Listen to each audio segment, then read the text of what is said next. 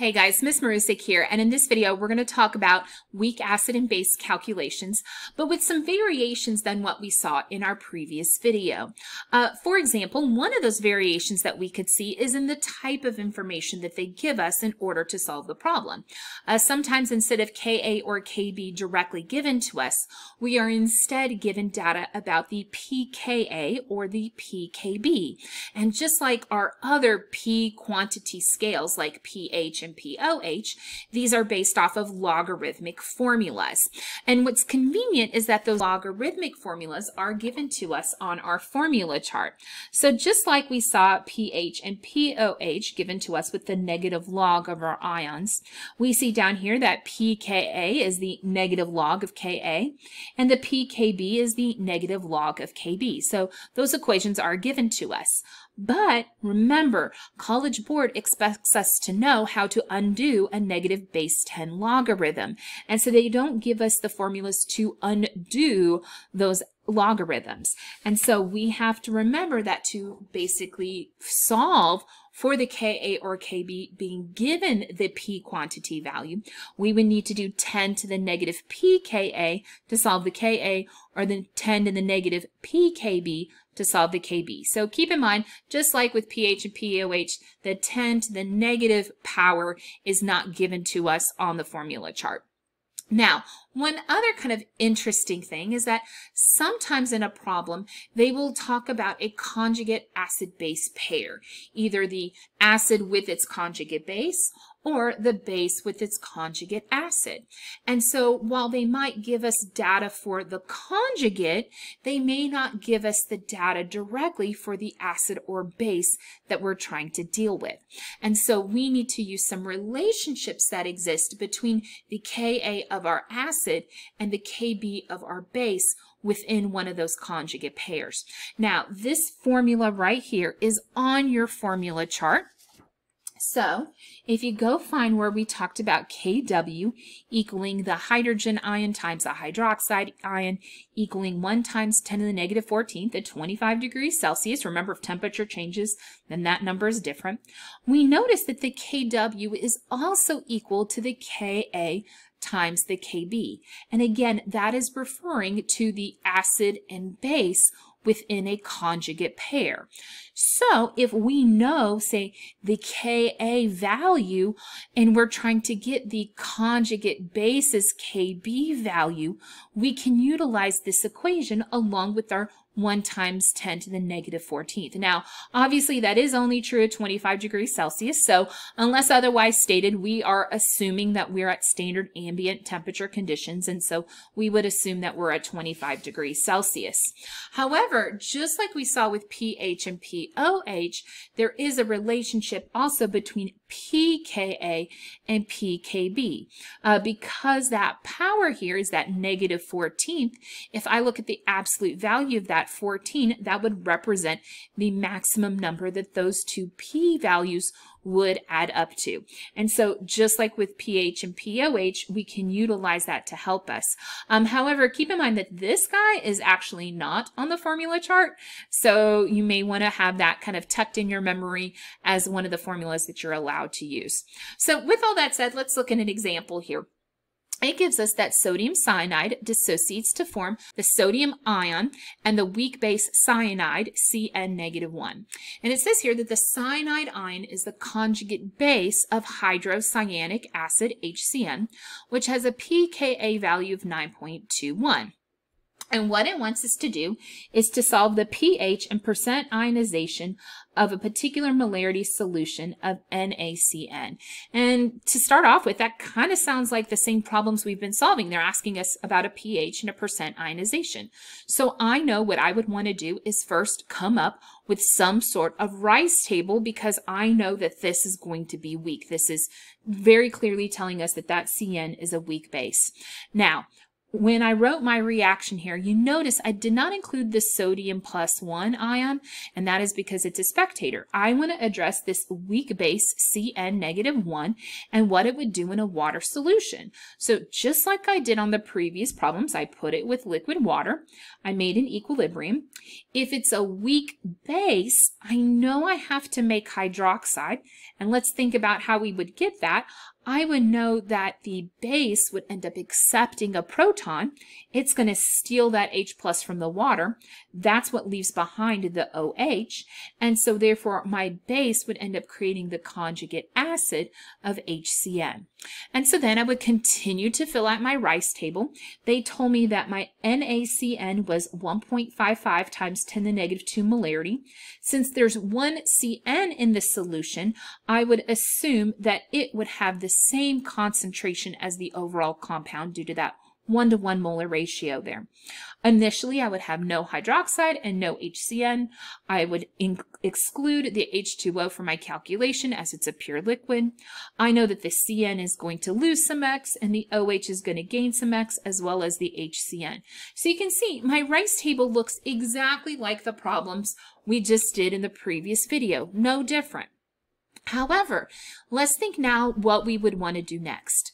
Eventually, I want to get to pH, which means eventually I need to know what this hydroxide ion concentration is because if I have OH, then I can get to pH. Um, so that means I'm going to need to solve X. And so I'm going to need to solve X by utilizing equilibrium expressions. Well, this is a weak base. So that means I should be utilizing a KB expression. So I kind of need a KB value. And if I read through here, I notice that they don't give us a KB value directly. So in order to get that KB value, I'm going to have to use some other information that they give us. So with that said, what I first did is I then wrote my KB expression, my two products, over my reactant. Again, I'll raise to their coefficients, but here we assume them all to be 1. But in order to solve this, I need a KB value. Well, look what they give us. They don't give us KB, but they tell us that the hydrocyanic acid HCN, which is the conjugate, has a pKa value of 9.21. So since I have a conjugate pair here, I'm going to be allowed to utilize these equations here in order to solve that KB value. Now you do have a couple options here. Obviously you could use the pKa to solve the Ka and then plug in that Ka here with 1 times 10 to the negative 14th and solve Kb. Would that work? Absolutely. However, I find it a little bit easier to use this other equation here. If I know that the pKa is 9.21, that means 9.21 plus my pKb would equal 14. And so that's the way that I chose to work this problem. So what I did is I said, hey, we need that Kb value pKa plus pKb equals 14.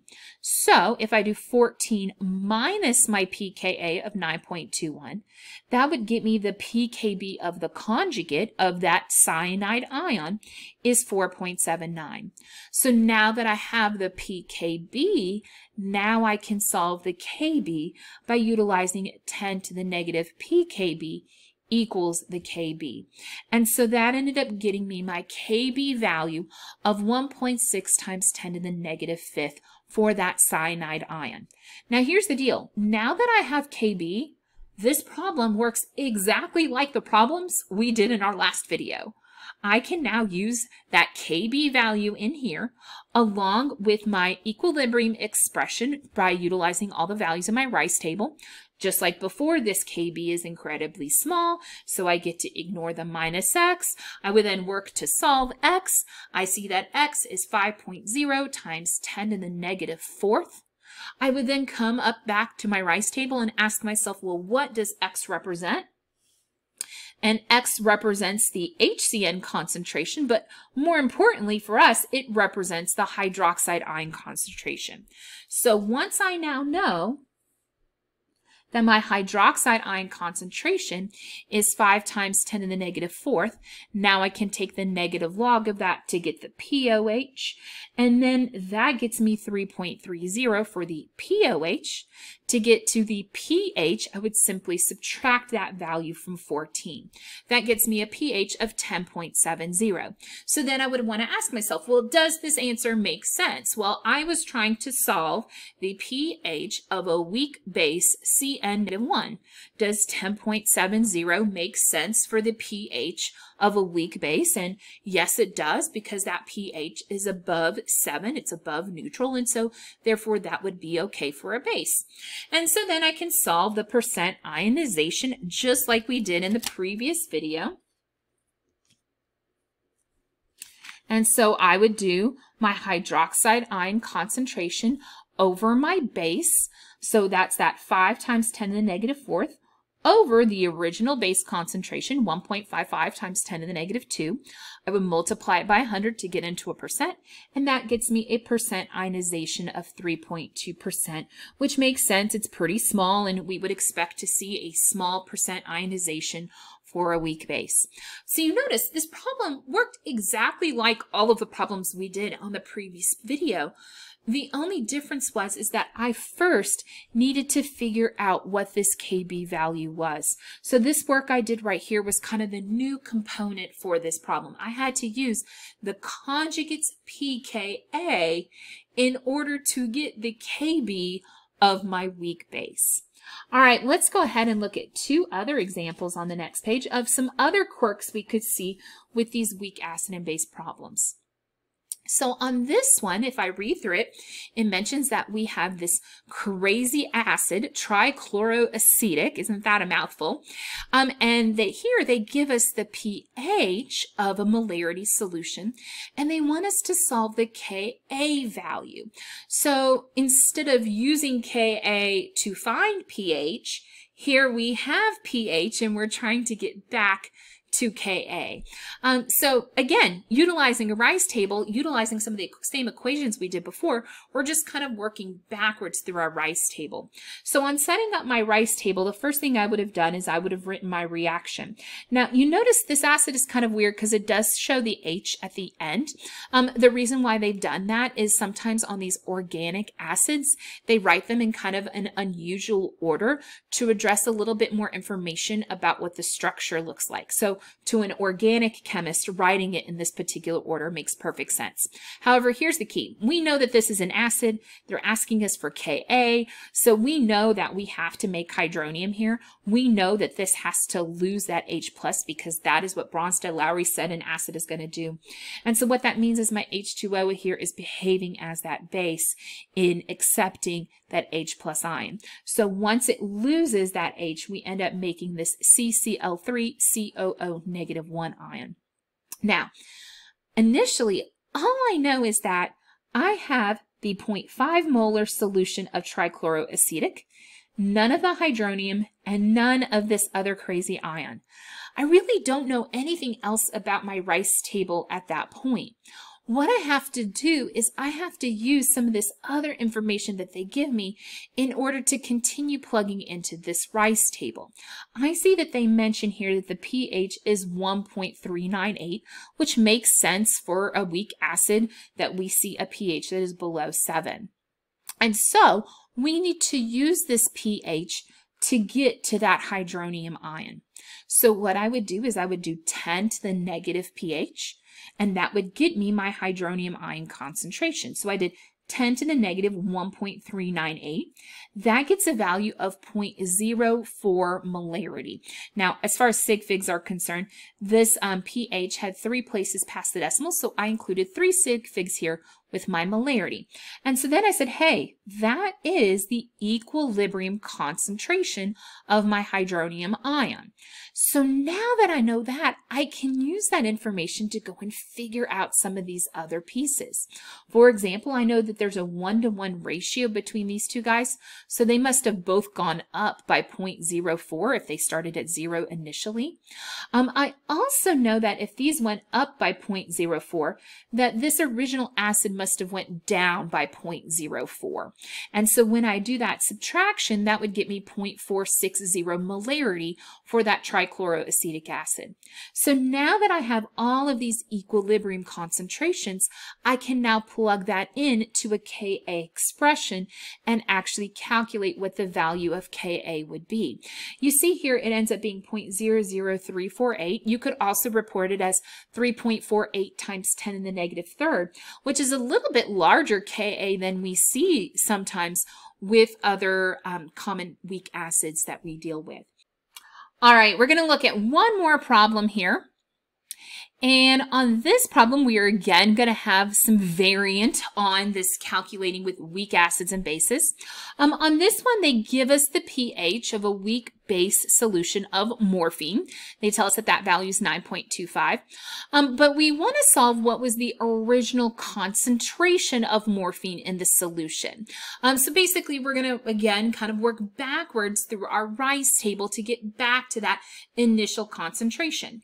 And to help us, they have also given us that the PKB of morphine is 5.796. So again, kind of another quirk here because instead of giving us KB directly, They've instead given us the PKB. So the first thing I would do is start to set up my RICE table. I know that this is a weak base, and so I know I'm going to do an equilibrium expression. So I know I need that RICE table here. And so I start with my morphine, and I know for that weak base, I need to add that water in there. I would have my two-way arrow for my equilibrium. Now, I know for a weak base, I should be making hydroxide ion. Bases should make hydroxide, acids should make hydronium. And so I want to think about how I would get that hydroxide ion there. And so kind of going back to here, I know if I have a weak base, that that means that the water must have given an H plus to my weak base so it can accept an H plus. And so that gives us C17H19NO3 with the H plus 1 tacked onto the end. And so what was left off the water once it donated that H plus would be the remaining hydroxide ion. So that's how we're going to get that hydroxide ion produced here. Um, initially, I would have an unknown value for that weak base. I don't know what it is to begin with, but I know my two ions initially before I ionize with both be zero here. Now, at that point, I can't really fill out any more of this RICE table. I don't know any more information directly. I'm going to have to do some calculations to continue filling out that table. And so one of the things that I noticed they give me is just like on the previous problem, they give us the pH value. And so I know if I have that the pH is 9.25, I can use that to solve my hydroxide ion concentration. The problem is, of course, I don't have one singular formula to go straight from pH to hydroxide ion concentration. So I first had to use pH plus POH equals 14. So I did 14 minus 9.25 to get 4.75, which is my POH. And then I said, hey, hydroxide ion would be 10 to the negative POH.